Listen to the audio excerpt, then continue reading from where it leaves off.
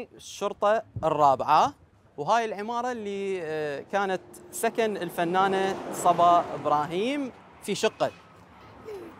آه، هو شقة بس وحدها من عزلة. طبعا هذا الشارع شت كله أروح بالمدرسة روتين اليومي.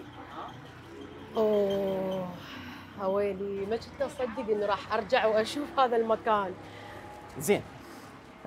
صبا نريد نسولف ببعض القضايا. هنا أنت بشقة. م- ما كنت تملكين غرفة؟ لا. بمفردك. لا. ويا أختك؟ آه لا كنا غرفة واحدة وغرفة الأخويا متزوج وإحنا الصالة دائما هي نلعب بيها نقعد آه، نتفرج وننام بيها أنا وأختي. كانت عندنا غرفة واحدة إحنا خالين بيها. يعني كل واحد آه، شلون نقول كنتورة وكذا.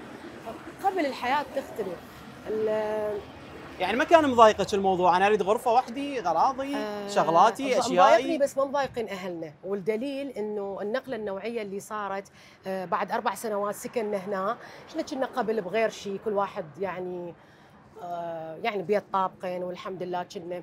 وبعدها من صارت آه، سفرتنا آه، صرنا كلها مأجرة بيوت. لأن كل من يريد بيته. زين هذا إيه. العمارة سكن جماعي.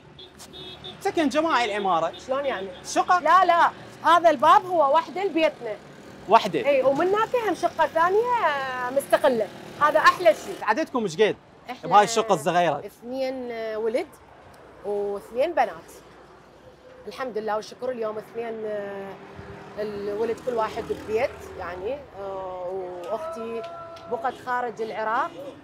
إلى ان هسه مستقره بهولندا بس هم مؤقت يعني. أها. إن شاء الله ترجع لنا ليش إن؟ شاء الله إن شاء الله ترجع بالسلامة إن شاء الله.